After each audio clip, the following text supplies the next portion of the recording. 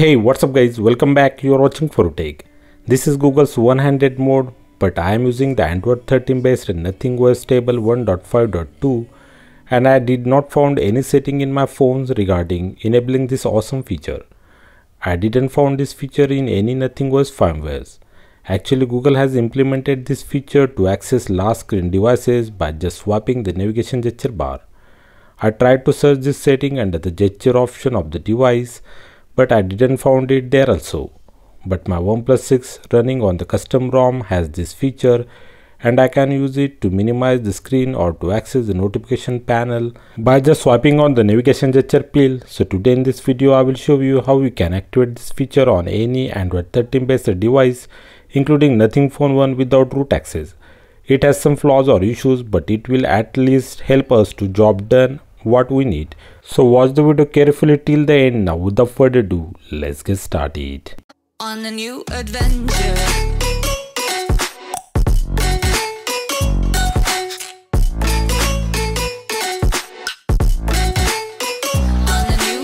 First requirement to use this mod is your device must be on the Android 13. Now download this app called as the Activity Launcher from the Play Store. Open it and at the top in the search bar search for the one-handed mode. You will get this one-handed mode activity option. Tap on it. It will show you one-handed mode setting.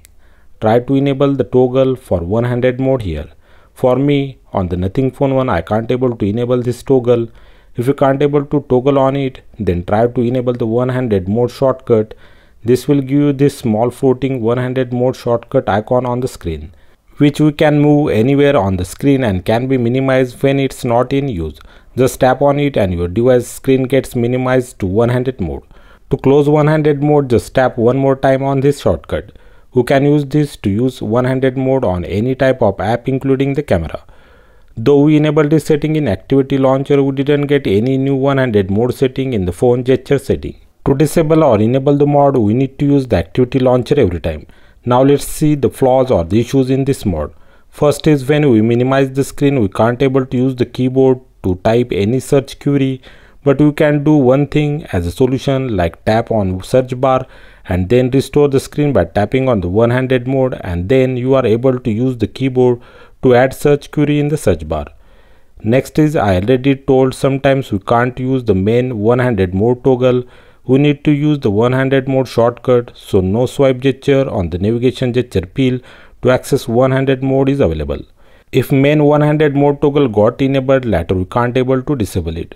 So if you don't like the overlay shortcut we need to just disable the overlay shortcut and one-handed mode got disabled. Next issue is that though we get the option to use the pull screen to reach the screen or to access the notification panel but access notification panel doesn't working for me on nothing phone 1 tell me in the comment section if you are able to use this setting.